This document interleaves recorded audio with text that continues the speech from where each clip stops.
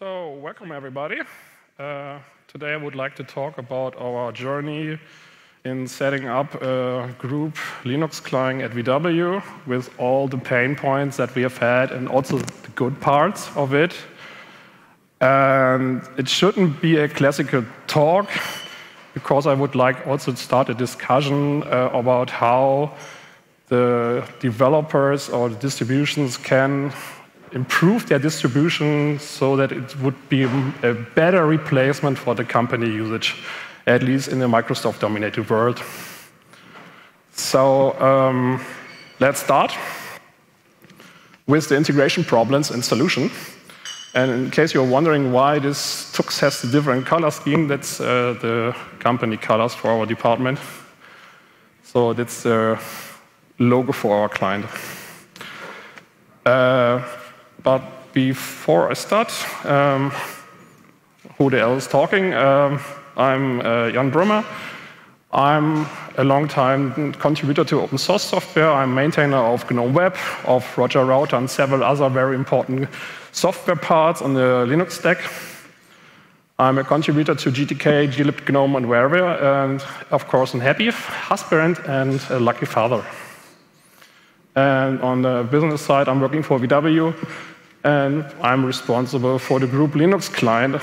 And I'm also in a lucky position that I have the permission to work as an official open source contributor in the name of Volkswagen. So everything that we are developing uh, is something that we try to bring it back to upstream. That's a very important task for me. So let's talk with a background. Why do we have a Linux client here? Because our software department, the CARIAD, uh, was in need of a Linux client.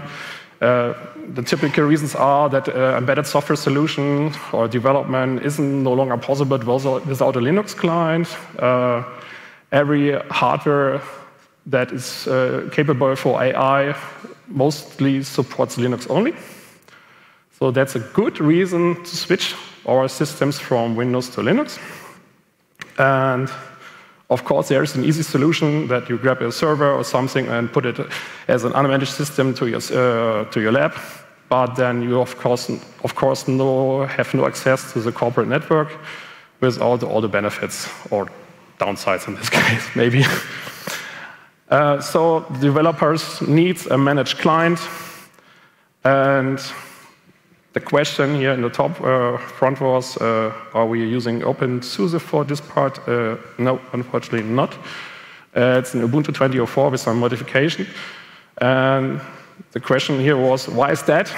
Uh, because uh, the hardware that we need from NVIDIA is claiming they only support some selected distribution, and OpenSUSE is not part of it. So in case you are interested in having OpenSUSE at VW, then please talk to NVIDIA and convince them that uh, SUSE is also capable of handling the AI stack from NVIDIA.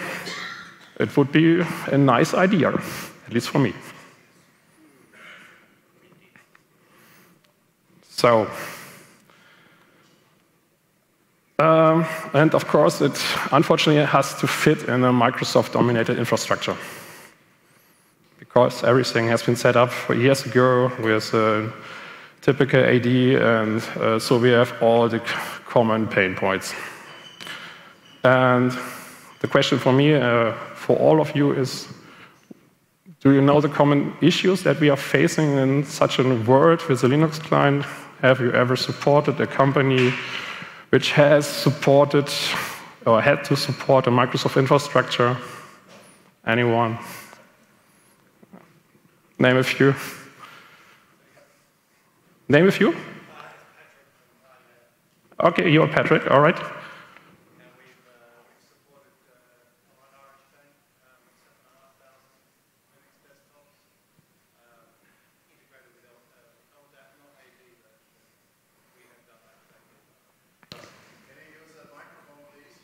Yeah, that should be better, I guess, for the rest of us. But it was an integration with LDAP, if I get it right. So uh, LDAP is a really easy part uh, in case you have the correct fields set. Yeah, so um, my company was doing uh, integration with Allied Irish Bank with 7,500 Linux desktops um, for the actual bank tellers.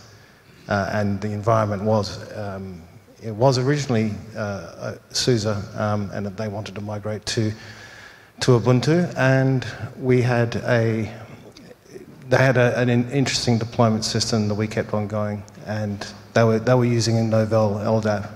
Um, that's kind of it. All right. Um, so in the past, I also had had some contacts with different companies, uh, all in the areas of Wolfsburg and Brunswick.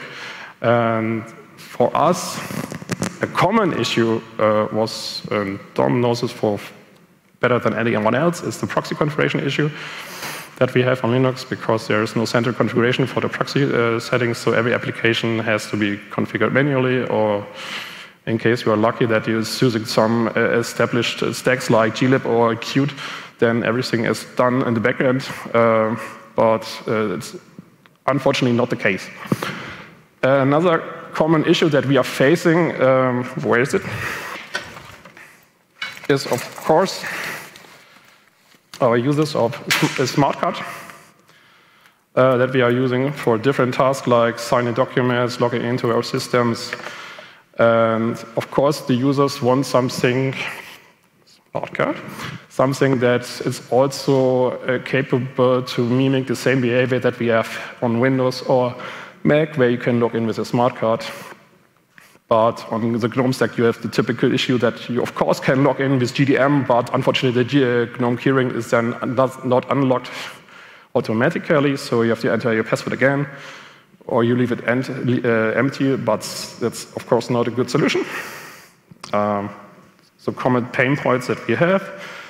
Then the proprietary software that uh, is fighting with open source components because in uh, our use case, the proprietary software wasn't well tested with the different distribution. So that's another common point, and uh, of course, the Microsoft or compatible products like Office and the typical workflows with larger Excel files. Uh, and I'm aware of colleagues that have uh, one Excel sheet which links to 50, uh, 40 different other Excel sheets, and in case something else breaks, then uh, you're out of luck. And you cannot do this with LibreOffice or whatever replacement you have in mind. Unfortunately, not. So uh, let's take a deep dive into the proxy configuration. Uh, proxies, for me, are evil, at least on Linux, because we have no central backend but luckily, there is a solution for it. That's uh. And in the last year, starting with last year, I took over the maintainer shipment from uh, Dominique Leuenberger. Uh, in the name of VW, we have rewritten all the software to address the common issue that the open source community uh, had with libproxy and tried to integrate it. So it's the solution for the proxy configuration here. Is everyone aware what libproxy really does, or should I take an additional step here?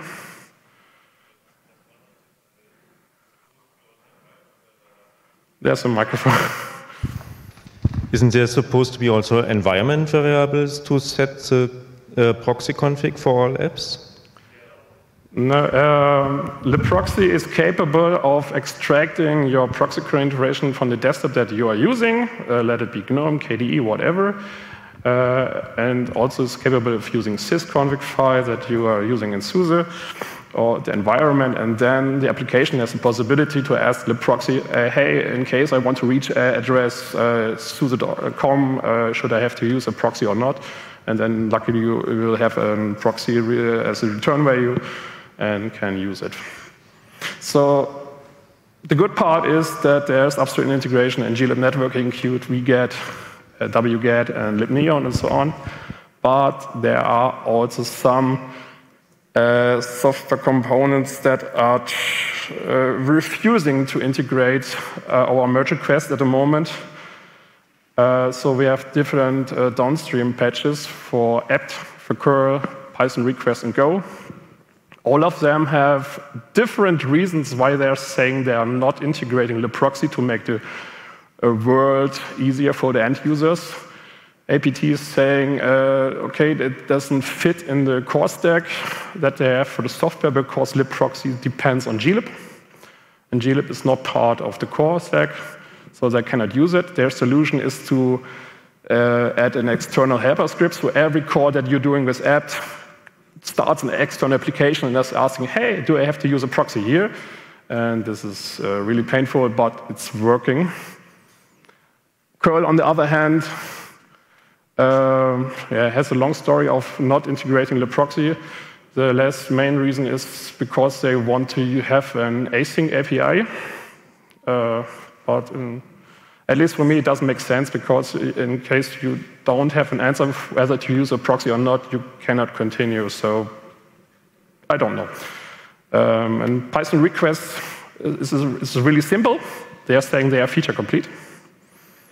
Um, so there's no need for integration of the proxy, so automatic configuration like uh, WPAD, it's not our problem. Uh, we are feature complete. And Go is saying something uh, like, uh, oh, it's written in C, nice, uh, but uh, in case you wanted to have it integrated in Go, you have to rewrite everything in Go. so different reasons why uh, there is no, currently no integration for the core for those software stacks. Uh, but luckily, we have patched them for our client, and we are providing those patches uh, also at libproxy homepage. And, and, if I'm correct, most of the patches are integrated in SUSE. I'm not sure. I'm looking at DOM right now. Should be, maybe. Okay. And of course, as I said the last point, uh, VW is currently doing the maintaining for it. Okay, then uh, switch over to smart card integrations. And there we have the problem, I told it in the beginning, uh, we do not have uh, application that does document signing of PDF files. Of course, there has been Okular in the KDE part, uh, but it's something not that we don't want to integrate in our client because we are using GNOME as a desktop environment. So we took the chance and added the necessary parts to the Poppler and also patched Evince. Um, the merge request is open for over a year now because Evince development has stalled somehow and there is no papers uh, in the queue, which hopefully be part of uh, the next core, GNOME Core 47. Really? Yep. Right after papers happened, Evince got revived. Okay. But it will, can you repeat it? Uh, I guess we need another. All right, can you repeat it? He says uh, that Evince has been revived since uh, paper has been started. So uh, unfortunately, the Evince is no longer part of the GNOME core. So Still is. it. It's still part of core. Really? Yep. Okay, then I have some information that are not public yet. but the goal is actually to uh, set papers in place because uh, Evince hasn't, still hasn't um, uh, done the step to GTK4. That was why it's, back, it's still back. They ported. Really? Good news. so maybe I don't have a chance to add it to Evince, otherwise I have to uh, do the same patch to papers again. And we have added then uh, support for smart card support in GNOME Web. Um, that's also part of the latest release 45.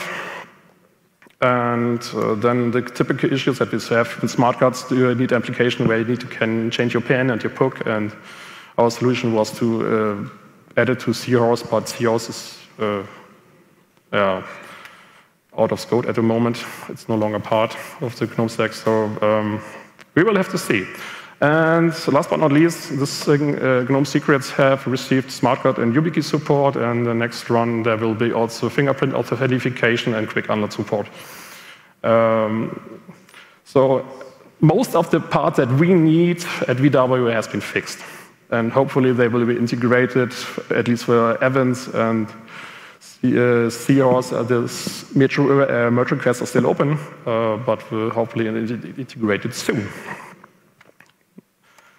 All right, uh, 15 minutes left, so I'll start with the virtual private network. Um, we do have a long story of having uh, problems with the proprietary software um, because, if I can remember correctly, they have added support for Ubuntu 2004 in uh, yeah last year, uh, three years later than well, whatever. And we also have the problem that we are looking into the future and saying uh, um, we need an immutable system at VW this, so that the update process is way easier for us. And uh, we do not have the correct package format for it. So we need something else. And what we have done now is we have added external browser support to OpenConnect. And we have done some further improvements to the Global Protect protocol so that everything is in place for us and we can just use, make use of OpenConnect. Very, very easy. Then the question regarding Microsoft products, uh, this is uh, a topic for itself, uh, but uh, here are the highlights. We do have the company rule that the Edge is the standard browser in our corporate environment. In the past, we had to update some core uh, component to add support proper SMIME and encryption, uh, encryption and signing support to Evolution. Uh, this the end broke somehow Microsoft Edge, and then it's causing currently uh, causing uh, crashes when using smart card. We had a long chat with Microsoft, and the final solution was and the official recommendation currently is use another browser. because they have currently too few requests regarding Linux, so it's not a high priority. It's that easy. Um, now we are looking into the Intune for device management. Uh, we gave it a try, and unfortunately, this doesn't work because the internal web page where you're doing the uh, authentication is just a white screen at the moment. The typical issue that we, uh, are facing with uh, WebKit and NVIDIA.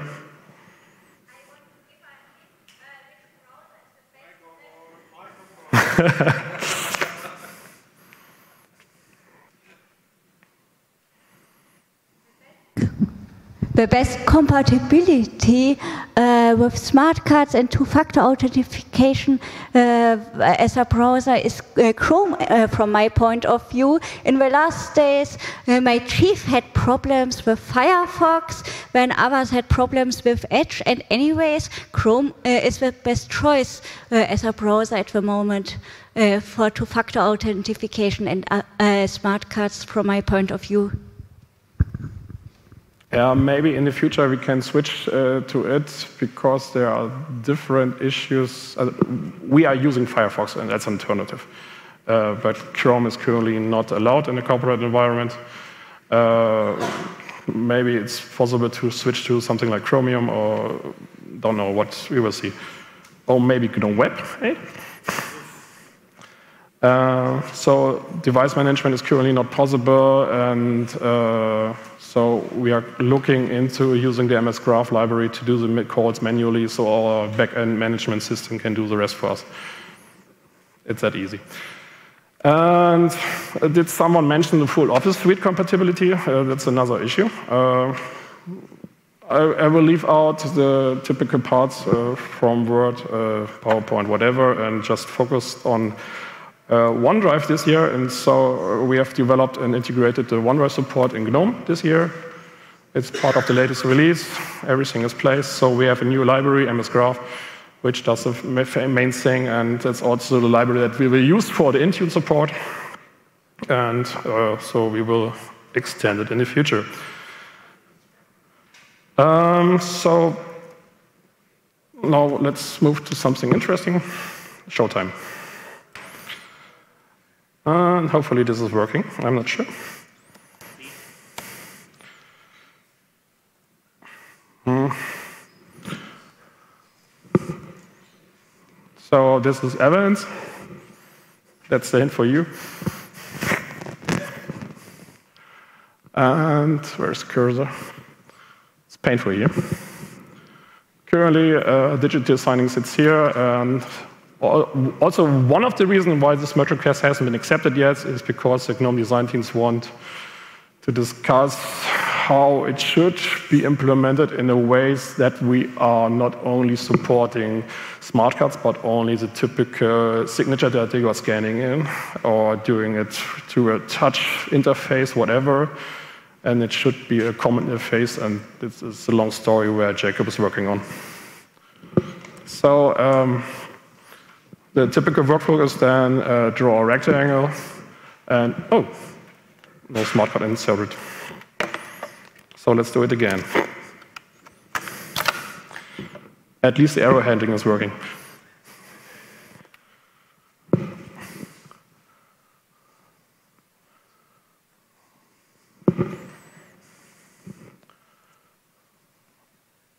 And select a signature. Where should it be saved? Uh, uh, whatever, typo. And that's it. Everything works out of the box, like it should be, and the same way as Adobe works.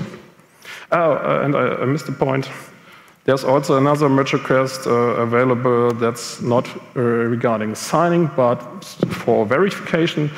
That's also a patch we have integrated to our clients so that you have the possibility to see all the detailed information about the signed signatures. And this is a really bad UI, so this is something that needs to be changed in the future. Uh, but it's very working, and um, yeah, actually, I'm trusted. That's good. And then the last thing I would like to show is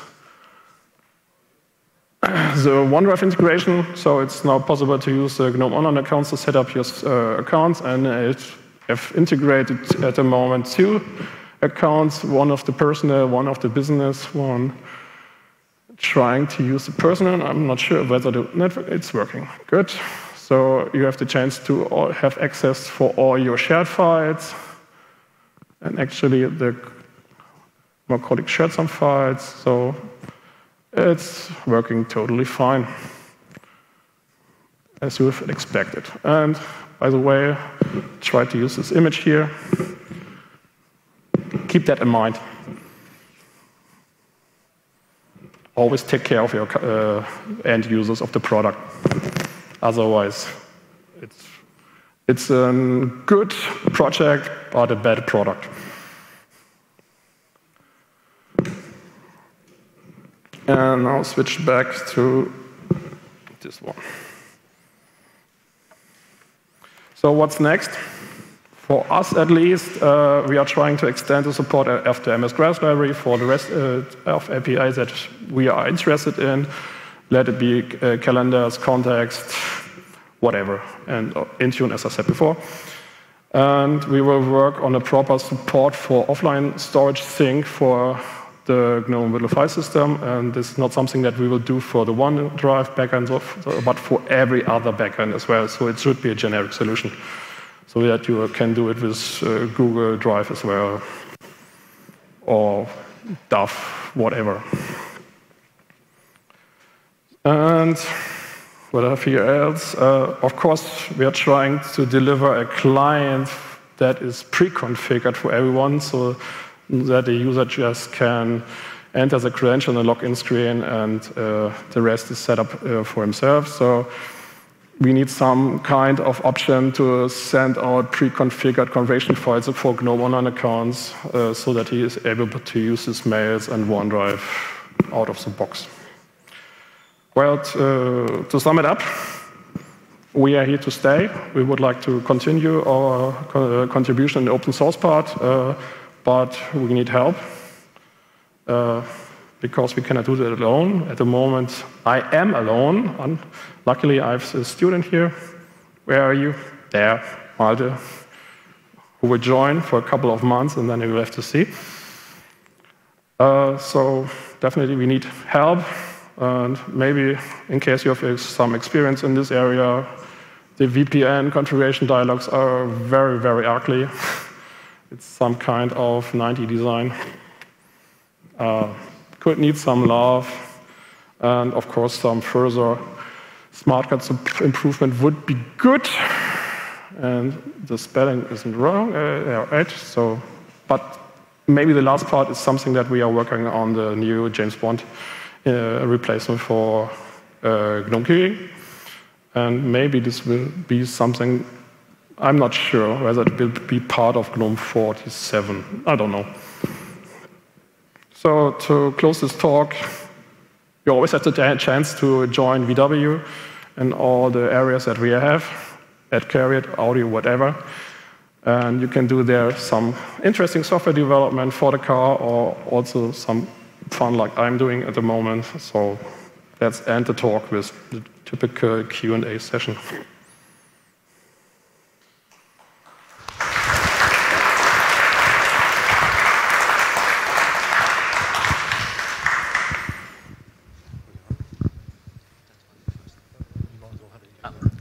Um, short question. Does libproxy, can you do also HTTPS?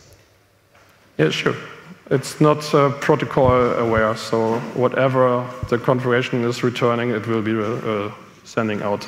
Okay, so no man-in-the-middle attack possible. Okay, thanks. It depends on your application, of course. In case you are requesting HTTP support or some kind of old Gopher support, then it's your problem. I have actually two questions for you. The first of all, uh, the upcoming cooperation with Rivian. Uh, do you see any impact on CARIAD on that? I'm not talking about the business stuff here. Okay. Second question um, What is your experience with feeding back your developments into uh, upstream, either the projects or the distribution? It's a mixed. For SUSE, it's very easy because I'm now Dominique, uh, so that's really easy in case I'm trying to integrate the patches back to mainstream. Uh, we have seen a slide regarding libproxy. Some of the proxies are very, very happy that they have some contribution to improve their software, but unfortunately, there are the other ones that are saying, like, yeah, just rewrite everything and go, and it should be fine. It depends on the maintainer it's a really problem for us actually to, to raise the awareness that there are uh, companies or private persons working with a different proxy support uh, that's not handled right now with the application and are not understanding the problem. They're saying then just uh, use another man, middle proxy that does the typical old uh, support regarding uh, environment variables. Uh, it really depends on the maintainer.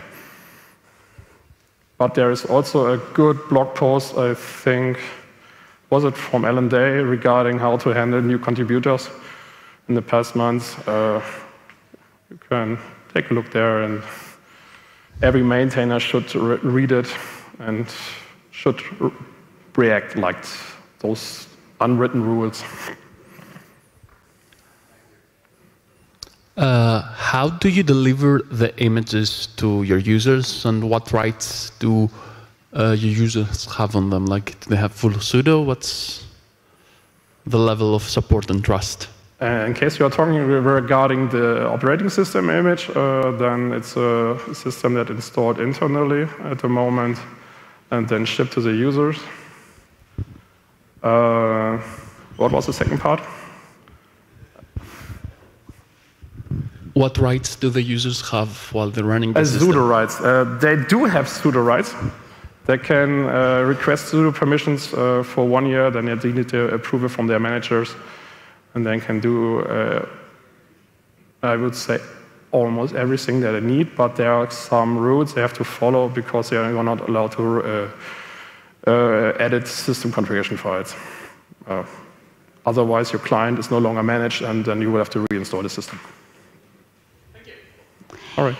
One question uh, from my side, how about distributing the VPN configuration uh, uh, with Salt, Puppet or anything else uh, that every user has got the company configuration and that you can reuse it? Uh, we are actually using the Puppet for the but in future it will be replaced with something else. How are you dealing with all the open merge requests that you've been speaking about? Are you using either OBS, Launchpad, or something to build your own packages to then install on the base distro, or do you actually need to wait for you know the communities to accept them and get them into a released distro before you're allowed to deploy them? Um, it depends. Uh, I always try to push the patches back to mainstream and the typical GitLab, GitHub repositories. And in case I need to package it myself, then currently it's mixed thing of doing it locally or on, or internal GitHub, uh, where the package will be built automatically. But the goal is to switch to Ubuntu 20 of 24 this year, uh, where most of the parts are already in place with the distribution.